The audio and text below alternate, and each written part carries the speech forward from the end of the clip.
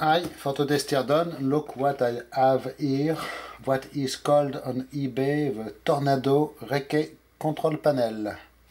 So it is a big control panel like this with uh, six uh, LCD displays.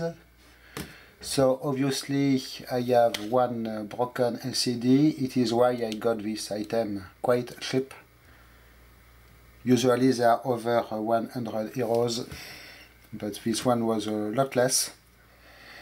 I will uh, see if it is possible to swap this uh, LCD in case it is some kind of uh, part I can order, uh, regular stock LCD model I can I could order somewhere. And swap this one, we will see how it is made inside. So we have six LCD panels, probably uh, two lines I believe here probably uh, brightness adjustment, push buttons. So this one are just logos in a rectangular shape. Here we have PJ1 and 2, we have byte and fail. The other ones I do not remember. They say qual and cell and line and cell. Byte, fail, PJ1 and 2. Okay? So, uh, and here another one, I did forget this one, which is saying behind a little flap on. So it is your main on button with a guard over it. So this unit, actually quite impressive construction in all die-cast body with built-in heatsink, three big connectors, and it is made by Computing Devices Limited in England. Yes, here you have the name. How it is written on it. Rexe or uh, Rixi or whatever you want to. I believe it is for reconnaissance or something. Control panel, NSN number, serial number. So here three big connectors. This one seems to be a test connector as it is, uh, or program connector as it is fitted with a, a cap. This is just a ground thing. Oh, the two plugs, so this one might be for a power supply obviously given the size of the contacts. We have uh, apparently uh, two or three part constructions we have a main uh, cover to the probably card cage. We have a main uh, unit here on the front panel which is secured by Allen screws, so probably it will be able to split at this level. We have the remains here of uh, quality control final seal by uh, yes computing devices company limited quality department but as you can see if it is in focus by the way it has already been opened. So I hope we will have everything inside. I will start by undoing this panel. So I am really curious to see what we have in this unit. It is something I have been watching on eBay for a long time several years actually and at least I found one at a reasonable price. The shipping was expensive way, but at least I got one. There are a few items like this I have been watching for very long and one at a time I get them.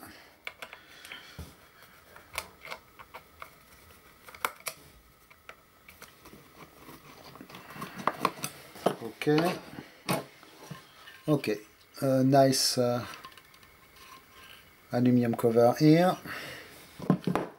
And here is what we have in this section. Apparently uh, five circuit boards called the serial IF, discrete IP, switch IF, lamp drivers and processor.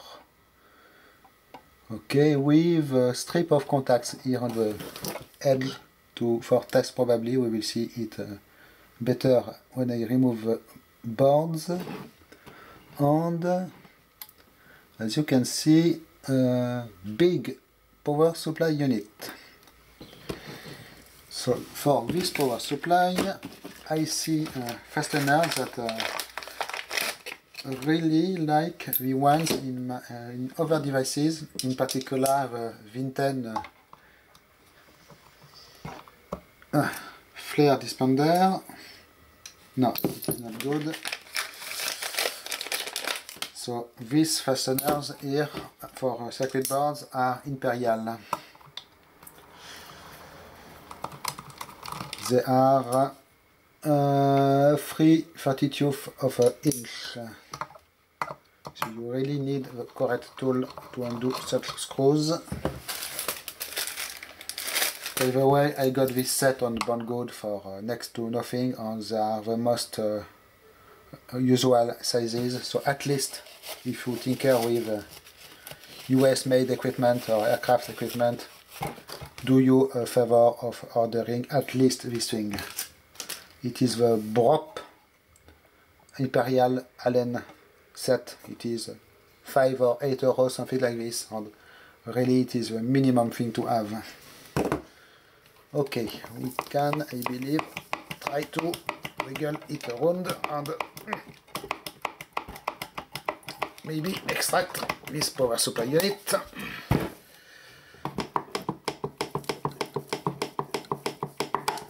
Here we are. Okay, quite serious thing. Then the circuit boards should be a lot easier. Yes, so I will remove each one of them and we will have a look at them if we are in focus. Is it possible, please? Thanks. Okay. Okay, so usual uh, card edge, uh, industrial card edge connectors here, nothing fancy. Okay. Okay, so when we are done, here is what we have at the bottom. A big uh, aluminium plate, machine piece even. A very rusty uh, connector here. I am not sure what is going on, but I will probably do something before I... Uh, is it rust or is it dirty? It is not easy to tell. It is rust color definitely, but seems to be uh, coming away. And the metal under it seems to be intact, so I will uh, clean it. We have here on the side a label. It is uh, using front assembly computing devices in Hastings, United Kingdom. Okay, so what do we have here? We will start with this power supply assembly. So it is written on the edge here high voltage, but maybe it is because of the power input, not the power output. As you can see, we have apparently a three-phase transformer, so it might be uh, fed from the main power bus on the aircraft. So 115 or uh, even 200 volts AC 400 Hertz, three phase power supply module. Here you can see the machining, quite uh, amazing of this thing. We have uh, a bunch of uh, bridge rectifiers here. Actually we have a three phase rectifier here on the two uh, regular one with only four diodes. We have what is apparently a big electrolytic capacitor with screw-on terminals with this uh, contraption to secure it with zip ties. Not the best thing in, uh, not bad, but I should expect better in uh, so expensive aircraft equipment. And here something weird, I do not know if it, uh, it is a leak from the capacitor, but the solder is all covered of white powder. We have apparently a few uh, power transistors and two circuit boards. This one is called the overvoltage trip. Other one is covered with mainly resistors and two ICs. I will undo these first screws, you will be able to check what the name is on this board. Okay, by the way, there is something weird and sticky in this device, you can see. Not sure if it is old oil or something like this.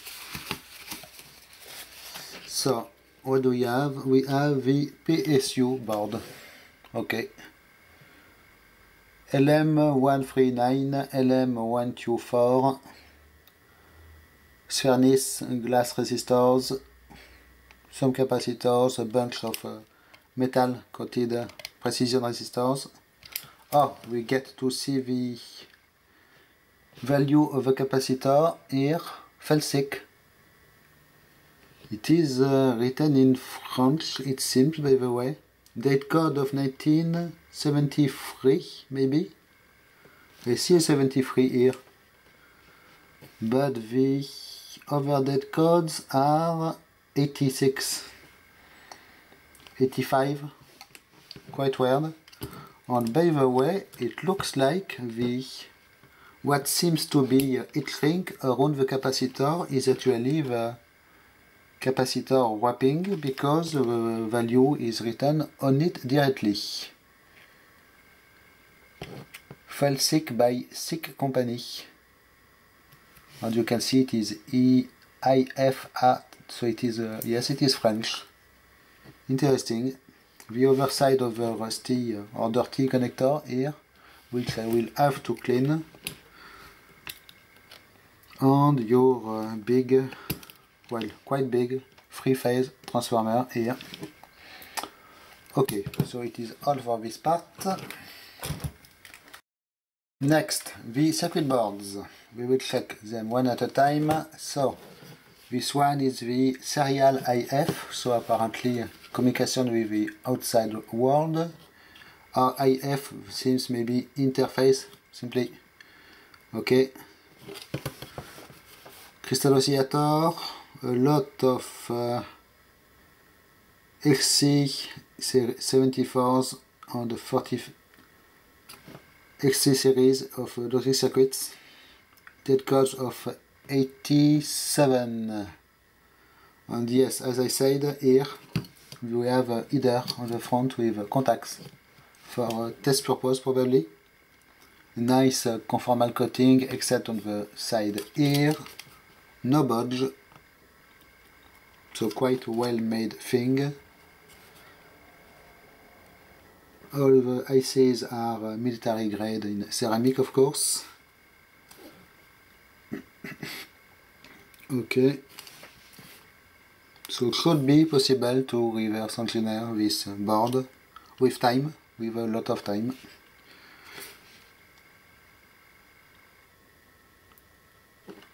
So next one, the board number two card sketch is the discrete IP, which means discrete inputs.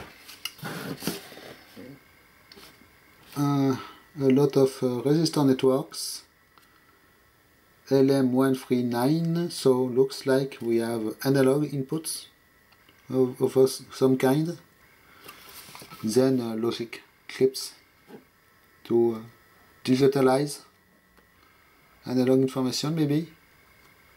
Quite well. Maybe this is some kind of uh, early or uh, split in parts analog to digital converter stuff. Quite interesting. Also you can see again very clean work at least. No budge. Very well made. The next board is the uh, switch interface, so probably responsible to for switching the uh, well, for the interface of uh, the switches in the unit, almost the same thing, in fact. We have uh, the same resistor networks, the same uh, ICs here,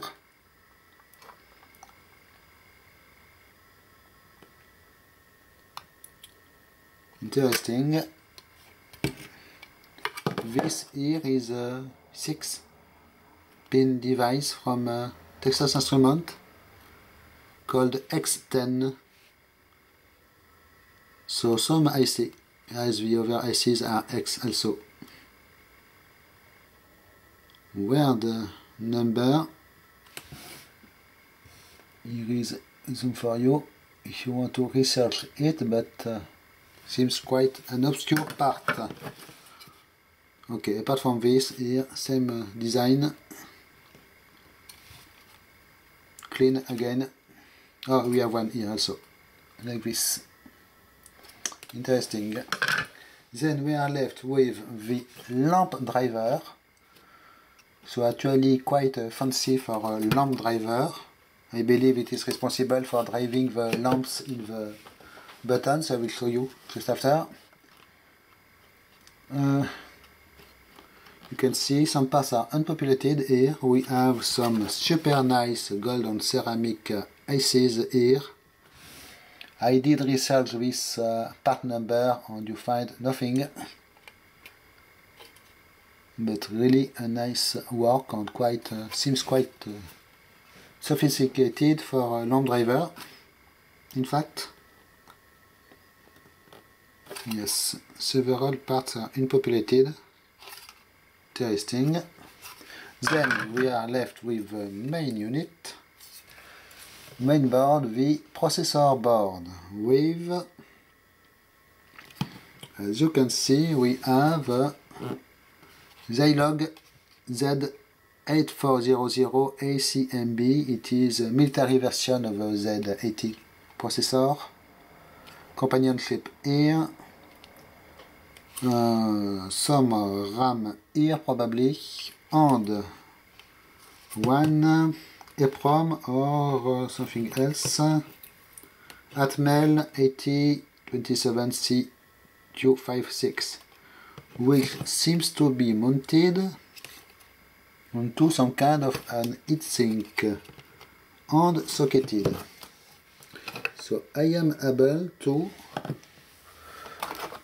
remove it from the socket and read this EPROM as I now have a EPROM reader. It looks like it is glued in some way to this uh, aluminium block under it.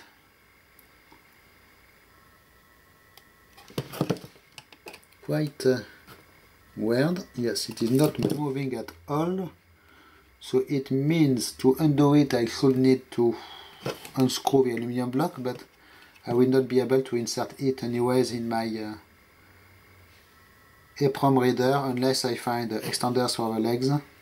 So maybe something I will do someday but right now I don't not think I have uh, correct uh, stuff for it. Quite uh,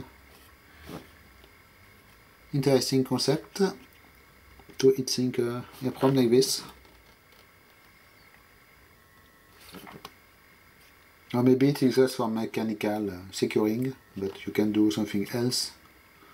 If you can uh, secure a capacitor with three zip ties, you can secure an EPROM with one or two zip ties in the, this direction, for example. Quite weird. So we have the processor, again very nice work you can see. So it should contain interesting uh, stuff but uh, it will be difficult to extract to unplug this EPROM it seems. Uh, brand RAM here it seems. Some peripheral chips so really uh, bare uh, processor board with minimum amount of parts it seems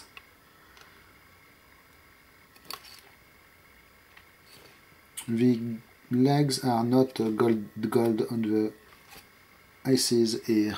Okay, so now time to crack open the main unit and see what we have. But first I will show you how these buttons work.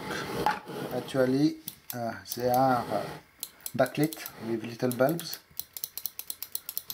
and of course as it is bulbs you must be able to replace them. So you, there is a little groove here which will allow to insert a tool and actually pull on the button which will flip out of the way like this but not uh, remove completely. And here you have access to your super tiny bulbs of a regular model uh, 307 regular aircraft equipment bulb. And of course if I shine a light now we can see the letters on this button. So apparently the lamp driver is just for the, this board this, uh, these lights. Interesting. And to reinsert it you just press and it will lock in place. Okay, now I will undo the Allen screws here and we will try to split the two parts.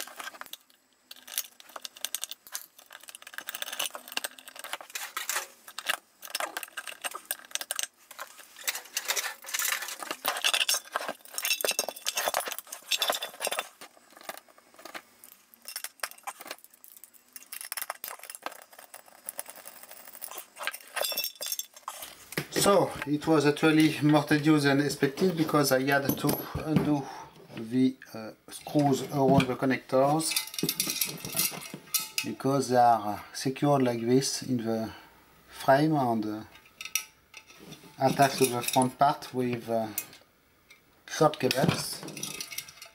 And as you can see spare no expense here just for this grounding lug four nuts quite thick cover. Okay, so what do we have in here? We have a sandwich construction of uh, the front uh, panel, circuit board with apparently the drivers for the LCD displays, flat flex assembly here, interconnecting the buttons, this main structural aluminium frame, and the connectors with their short wires and a whole army of filter assemblies. So they are capacitive pass-through as you can see. Apparently uh, silver coated they are screwed in you can see here in the aluminium part and they are soldered directly in the board behind it the connectors are the crimp uh, type, which are pain to work with if you do not have the correct tools. You need the very special tools in order to be able to do anything with it. You can see nice lacing here on this wire harness. And all the contacts are used except for one here. So really a lot of wires going to this device and you can see uh, this uh, structural board here is uh, secured by stand with standoffs. So I will try to unscrew it in order to have a better access at the circuit under it.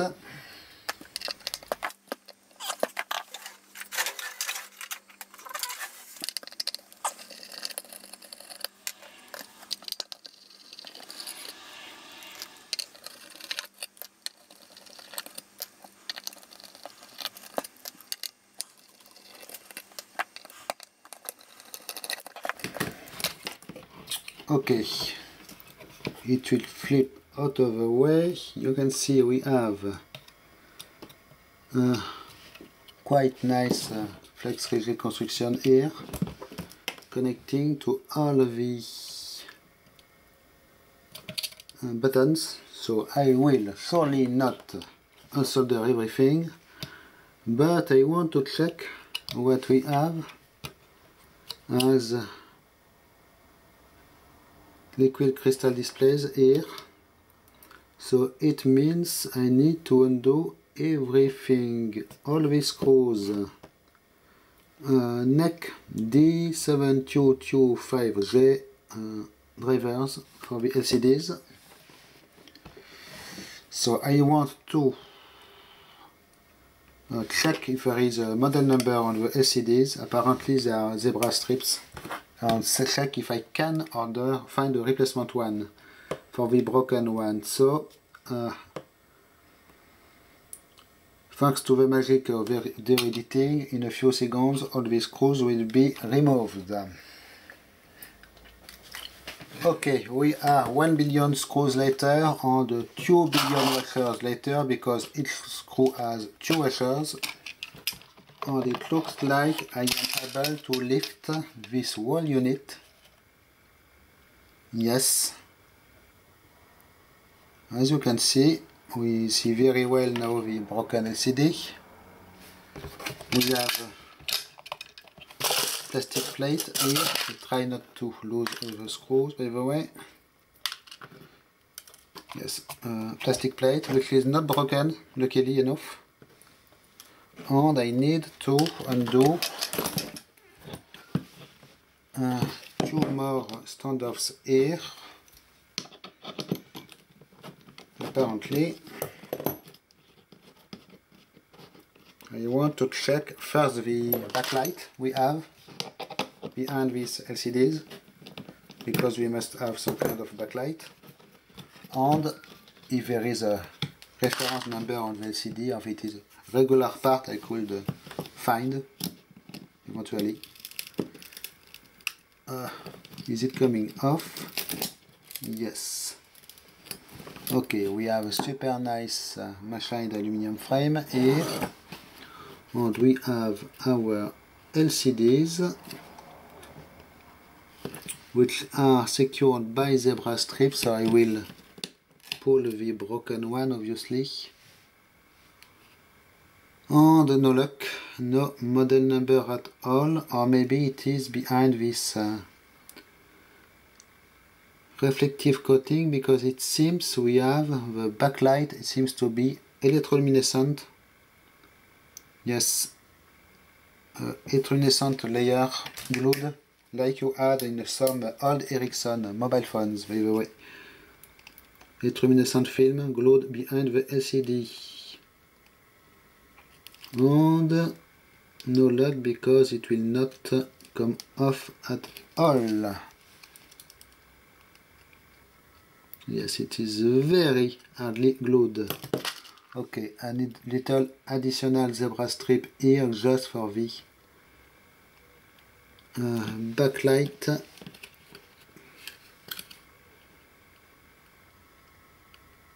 So we have a resist I could try to power on those backlights, but I do not know the voltage.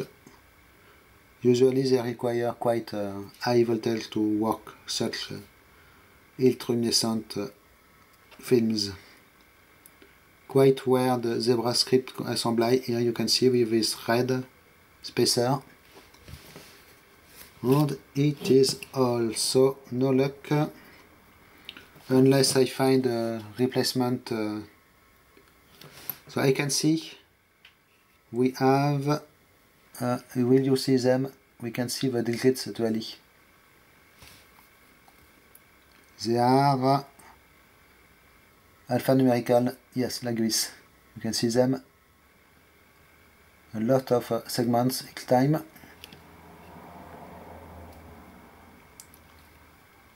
Mounted with uh, is it a driver board or is it this wall LCD uh, wall board here but it is completely glued so I cannot do anything here. Sadly enough.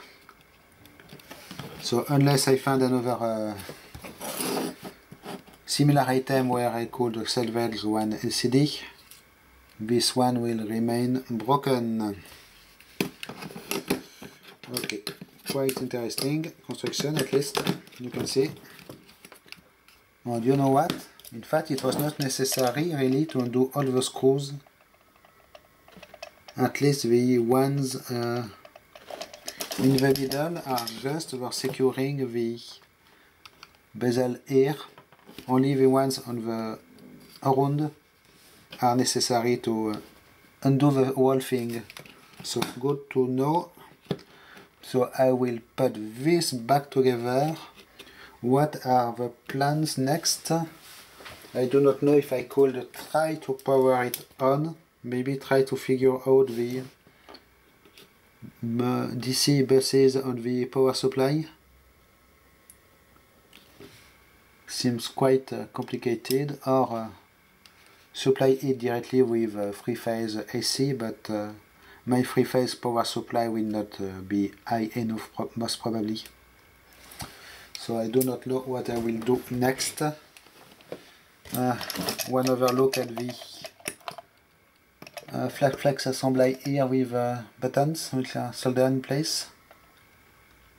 You can see uh, very nice uh, washer very nice quality. Little potentiometer here for uh, adjusting the backlight most probably all the solders here to the uh, capacitive pass-through and to the card connectors.